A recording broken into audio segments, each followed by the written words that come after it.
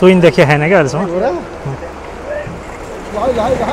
डोरी मिलाऊ केटा राम्रो छ डोरी अहिले ल यो केटालाई केटा जानु खुच्चे डोरी उता हेर गिरी ओ एकपल्ट गिरी हाल गिरी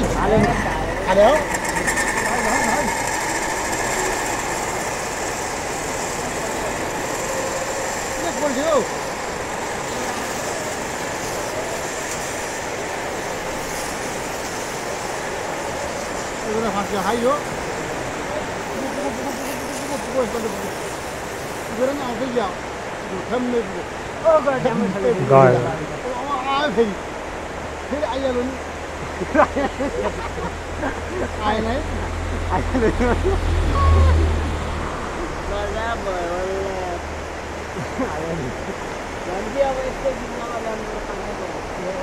र भर्खरै हामीले यो तुइनबाट चाहिँ गिटीहरू पठाएको देख्यौँ यहाँबाट। र यो चाहिँ झोलुङ्गे पुल। बनाउन लाग्नु भएको रहेछ यहाँ। र यो सिमलताल भन्ने ठाउँ हो।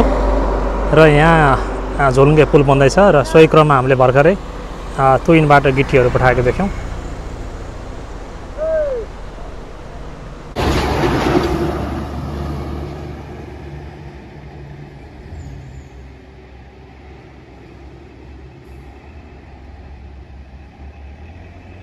भौगोलिक जटिलताका बिच पनि नारायणघाट मुगलिङ सडक विस्तार भइसकेको छ। तर यस खण्डमा पुलहरू भने बनाउन अझै बाँकी नै छ। र सोही क्रममा अहिले हामी आएका छौँ काली खोला स्थित पुलमा। र यहाँ पनि अहिले काम हुँदैछ। र अहिले यस्तो स्थिति देख्न सक्छौँ हामी। काली खोला मुगलिङसँगैको यो काली खोलाको पुल हो। र अहिले हामीले सुरुमा देखेको भिडियोको दृश्य चाहिँ मुङ्लिनबाट नारायणघाट जाँदा दोस्रो पुल हो। खहरे खोला पछिको त्यो पुल हो र त्यहाँ भर्खरै पहाड फोड्ने काम भइरहेको छ र यहाँ पनि हामी देख्न सक्छौँ धेरै जटिलताका बिच पनि अब यहाँ नयाँ पुल बन्नेछ र पुला पुरानो पुल भने यथावतै राखिनेछ र नयाँ पुललाई सञ्चालनमा ल्याइनेछ।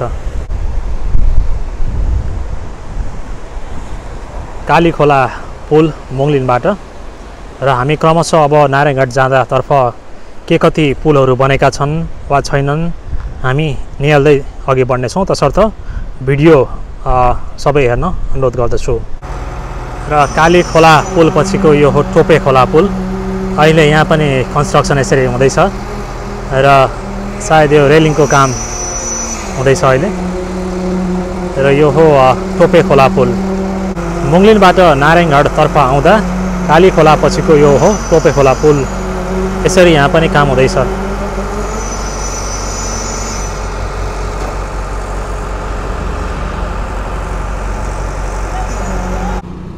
निर्माण सम्पन्न भएर पनि सञ्चालनमा आइसकेको विगत दुई वर्ष अगाडि नै सञ्चालनमा आइसकेको यो पुल चाहिँ जलबिरे पुल हो।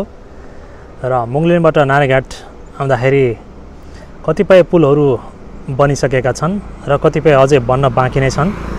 तर सञ्चालनमा आएको भने यही एउटा जलबिरे पुल हो। जलबिरे माताको मन्दिर र यो हो यी जलबिरे पुल।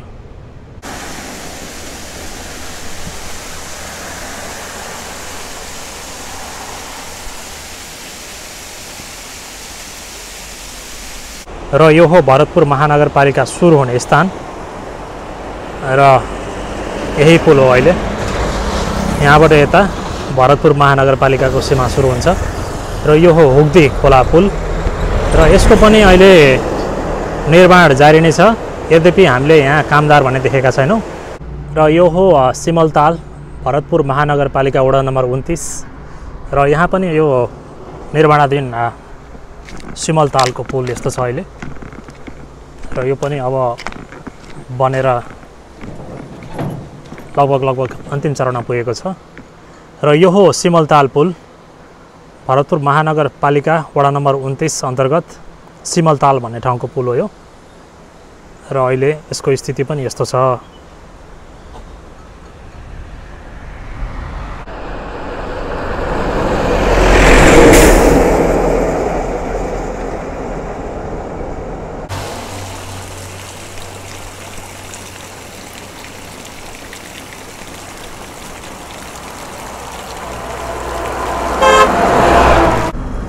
र यात्राको क्रममा हामी सिमलताल पुलबाट अब अहिले आएका छौँ डुम्रे खोला पुल जहाँ यो पुल पनि निर्माणाधीन छ र लगभग लगभग अन्तिम चरणमा पुगेको जस्तो भान हुन्छ हामीलाई हेर्दा। र यो हो डुम्रे खोला पुल र अझै कतिपय पुलहरू अझै बाँकी छन् हामी नारायणघाटतर्फ जाने क्रममा। तसर्थ भिडियो नछुटाइदिनु हुन अनुरोध गर्दछु। त विगत केही हप्ता अगाडि अविरल वर्षा पर्दाखेरि यहाँ मुङ्लिनको यो ठाउँमा चाहिँ मौरी खोला पुल भन्ने ठाउँमा चाहिँ बाटोमै पानीहरू बगिरहेको थियो र यही ठाउँ हो यो। माथिबाट ठुलो पहिरो तल झरेपछि पुरै बाटो पुरेको थियो र बाटोमा पानी खोला जस्तै बगिरहेको थियो। र मौरी खोला पुलपछि हामी अहिले आइसकेका छौँ सेती दोभान पुलमा र सेती दोभान पुलको काम पनि अहिले सम्पन्न सम्पन्न हुने छाँटकाँट देखिन्छ। बाटो र पुलको ग्यापमा चाहिँ ढुङ्गा फिलिङ गरिँदैछ अहिले र पुलको मुख्य स्ट्रक्चरको काम सम्पन्न भएको जस्तो देखिन्छ। र यो हो सेती दोभानको पुल र यहाँ सेती दोभानमा नयाँ पुल निर्माणाधीन छ।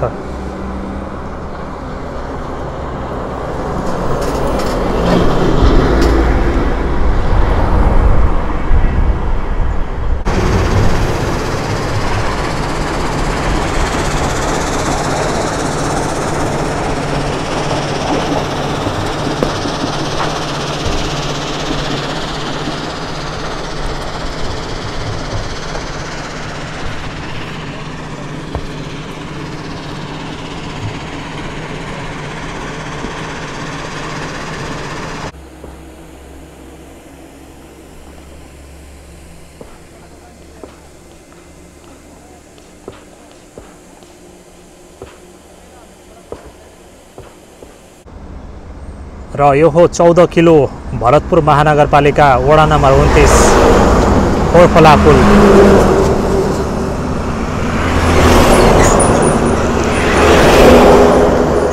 र यहाँ नयाँ पुल बनिसकेको छ। तर अझै माटो ग्राभेल फिलिङ गरेर बाटोको सतहसम्म ल्याउन चाहिँ बाँकी नै छ। तसर्थ अझै केही समय लाग्ने देखिन्छ यहाँ। चौध किलो स्थित खोरखोला पुलबाट। र यो हो दासढुङ्गाको खहरे खोलाको पुल। र यस्तो देख्न सक्छौँ हामी। र यो पनि पुल बनेको छ तर बाटोको सतहमा चाहिँ माटो र गिटी फिलिङ भएको छैन र सञ्चालनमा पनि आएको छैन।